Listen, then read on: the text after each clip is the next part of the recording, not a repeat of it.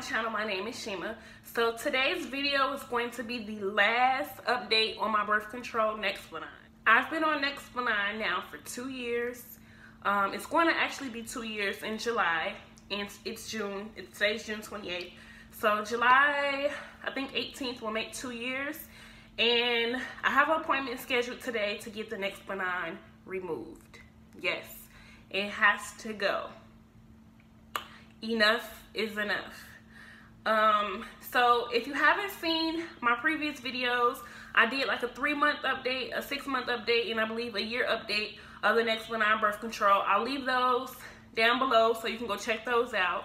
But I've been on Nexplanon for two years now, and it's just been a roller coaster. So at first, when I got on birth control, I was bleeding really bad. I bled for months. I had periods um, for maybe 25 days out of the month.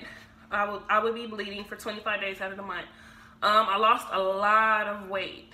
I went from being like a 145 to maybe 118-ish. I'll, like I said, I'll try to insert some clips in case you didn't see that video, but I do suggest going to watch those videos first. So it finally got to a point where my periods were a little bit more regulated. And that was cool. Like, I'm just like, okay, so you'll see my one year update. I'm like, okay, you know, just stick tight, sis. My periods are regulated. I'm feeling better.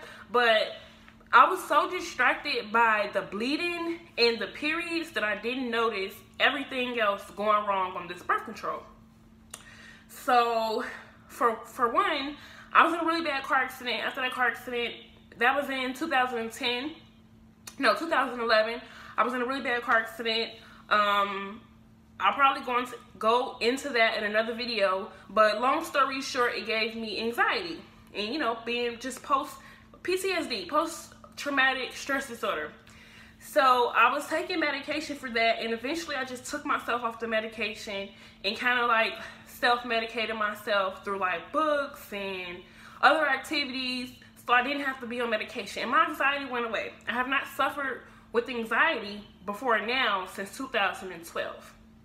Okay, so it's 2019, and I'm just tripping because, like, the last year, I'm not gonna say last year, yeah, maybe the last year, I've been suffering with anxiety, like over worrying, over stressing, panicking about stuff, and I come from a family where, you know, mental health is not discussed the way it should. So I didn't have an outlet to tell people. Anxiety is also irrit being irritable. Um, I get I get irritated in like group gatherings, like when I'm around a lot of people at family functions, stuff like that. I find myself getting irritated. Like I'm ready to go home. I can't handle being around people for too long, which is really not like me. You know what I'm saying? Just being that irritated with people.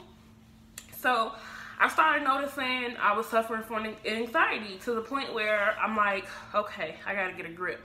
And let me see, like January, I went to the hospital and I explained everything to the doctor and I just broke down. You know what I'm saying? Like when I'm in the doc doctor's office, literally boo-hooing. It's like, not only do I think you're suffering from anxiety, but I think you're suffering from depression as well, which is not like me. Like, I'm not a depressed person. I'm the kind of person, you know, I take a licking and I keep on ticking. Don't get me wrong. I've been through a lot these last two years. If you don't know, I'm a single mom. I have two kids. So, two kids, ages two and four. So, that's a lot of pressure. But um, it still didn't make up for what was going on. Like the anxiety, depression was like way, way overboard. And my doctor gave me some medicine for it. And I'm just like, you know, I sat down, I thought about it, I considered taking it, and then I told myself, no, I'm not taking this. Like, this ain't me. I'm not a depressed person. Like, I'm not about to self medicate with something, and the cause of it is something else. Then I start thinking, like, man, is it the birth control? Hmm, nah. And I swept it under the rug and I just didn't take the medicine and I just pushed through it. But um, recently, I just I still have spells of like getting really sad, um, crying, and that's not me. Like I'm not a, I'm not a, I'm not that sensitive. Like I, I'm, I'm criticized for being too, I don't know, like I'm not, I'm, that's not me. Like I've never suffered from depression, anxiety. Okay, depression, no, that's not me. So yeah, I started noticing signs of depression, signs of anxiety and I'm not taking medication for it simply because I know it's the birth control. I just choose to deal with it other ways, writing, working out, whatever, talking to a friend, um, you know, whatever. So that was that. Then my face. Um, I've been battling with acne, bad acne, since I got on this birth control. And I thought it was from like pregnancy and postpartum, but my son is two now. I can't figure out why my face, like if you can you can see I have acne. I have acne like a teenager. And don't get me wrong, I've never had a crystal clear face. Like I would have a pimple here or whatever, you know what I'm saying? But constant breakouts like I'm having now, just constantly breaking out, this is a fool. Like no, Nexplanon. Mm-mm. I don't want to have to suffer from acne like a freaking teenager. Like nothing works you know what I'm saying? And like I'm, I'm, i went back to the books, like back to my skincare regimen from like high school when I did have acne, and nothing is clearing my skin. Like my skin keeps breaking out. Cool, this ain't what's up. Like, mm-mm. I'm not about to be dealing with acne. But my number one reason for getting rid of this birth control is the fatigue. Sus, the fatigue is a nightmare, okay? I am so fatigued. I am an early bird. I get up at 6 in the morning, no matter what. Feet hit the floor at 6 a.m. You know what I'm saying? Whether that's me reading at 6 a.m., playing on my phone at 6 a.m., working out at 6 a.m., meditating, planning out my day, whatever the case may be, at 6 a.m., I'm woke. You feel me? So lately, I want to say what really made me say, okay, let me make that appointment, maybe for the last four or five months, I've been struggling. Like, I've been struggling to get through my day without being burnt out. You know what I'm saying? It's normal for a person to work and get tired, but after you sleep and recuperate, you should be okay. Like, I have days where I'm up at six, I am laying in the bed for like an hour, trying to pull myself out the bed, school, which is not like me. I normally get up, get moving, get out the door. But I can't do what I can't do. It's like I feel my body weight when I'm pulling myself out the bed. I feel myself dragging myself out the bed. And so I thought it was my health. So I stopped eating beef. I got on a keto diet. I don't drink anything besides water and V8 juice and tea. By 11 a.m. in the morning, after I dropped the kids off at school, got them ready, got them out the house, by the time it's 11, I'm beat. Like, I worked a 12-hour shift. And that's not normal. Like, yesterday, I dropped the kids off. I ran a few errands. I came home. It was like 10. I slept to 3. And when I woke up, I was still tired. And I'm tired right now. Like, it's a fool. It's a fool. I feel like I don't know what's in the birth control. I was told that it wouldn't be as horrible. I, I think my doctor told me it was non-hormonal. I could be wrong. I'm going to go back and read it again. But I just didn't understand what the heck is going on. Why do I feel this way? I'm having anxiety. I'm having emotional breakdowns. I'm breaking out all over my face like a teenager. Like I'm going through puberty. I am extremely exhausted. And then the nerve, after all of that, I have spells of nausea. Spells where I'm just sick to my stomach. Certain stuff makes me want to puke. You know what I'm saying? Almost like I'm pregnant. Like, I feel like I'm pregnant.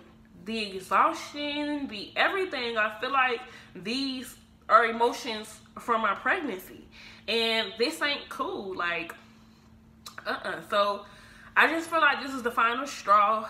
Yes, my bleeding is under control. No, I didn't get pregnant on Nexplanon. However, I might as well be. That's how I feel. Like, I don't like a lot of people tell me they gain weight on Nexplanon. Like, don't get me wrong, I did gain some weight, but after I got really skinny, I started picking my weight back up. Like, I'm gonna show you what I look like now. I picked my weight back up in comparison to the other videos. I don't want to raise my shirt, but this is my weight. So yeah, I picked my weight back up. And like I said, I've been taking care of my body, so I'm kind of like stagnant. I, I'm not losing weight and I'm not gaining weight. Considering all everything that I'm doing to lose weight, I'm still not losing weight, but I'm not gaining weight. So it's just like my weight is like neutral right now. And I think it's because of the birth control. Like if I wasn't on birth control, I feel like I would have been dropped this little 10 pounds that I'm trying to lose. Like that. I can drop 10 pounds just by not eating bread for a week. That's just how my body So the fact that my weight is not changing it's not a good thing. It's just it's just letting me know it's something more going on with my body. I'm not happy anymore. Like I said, the bleeding had me distracted from everything else that was going on with my body. Waking up every day and you're bleeding would have you distracted from everything else. Like I wasn't thinking about the acne or I didn't pay attention to how tired I was because sometimes having my period makes me tired. So I'm just like, okay, I'm exhausted because of the bleeding. But once the bleeding got under control and I started to notice all these other little things that was going wrong with my body, I'm just like, what? What? You know what I'm saying? But I know a lot of the emotions and everything I'm feeling is stemming from the birth control. So next Nexplanon, got to go. Gotta go, gotta go, gotta go right now. I'm done. I don't think I want any birth control. I'll take my risk. I'll use condoms. I'll go buy some Plan Bs. Call me what you want to call me. Say what you want to say. But this, this birth control is not for me. I don't think it's for nobody. I think, you see that? You can see it. You know, that's it. I'm done. I'm done. I'm ending this relationship. I don't want to do this anymore. I don't want to I don't want to deal anymore. Um I'm cool. Like that's all I can say. I'm cool on this birth control. And if you're watching this video and you're on Nexplanon or if you're thinking about getting on Nexplanon, I don't want to say don't do it. But if it was me, if I knew then what I know now, I wouldn't have done it. I would have tried the pill. I don't want anything else that's inserted in my body. I'd rather pop something that's gonna wear off or whatever. Like, I don't know how that works, but far as something in my veins, in my body 24 7, like this, um, no. I'm gonna go ahead and end this video. I'm starting to yarn. Told y'all I feel tired right now. So I'll go ahead and end this video here. If you have the Nexplanon, comment below and let me know if you had some of the same symptoms. If you took the Nexplanon out, let me know how was your transition with taking your Nexplanon out. How soon did it take for you to recover and feel like yourself again? If you're thinking about getting Nexplanon, don't. Don't do it, sis. It's a trap. It's not worth it. Try something else. This is a very toxic birth control. Okay? You're hearing it from the horse's mouth don't do it. Okay? All right. So I appreciate you all for watching this video. Thumbs up if you did enjoy it. If you didn't enjoy it, just exit out. Don't be hitting the thumbs down, sis. It's not even worth it. Don't do that. Don't do that. But I'll catch y'all on my next video. It's been a pleasure. Bye.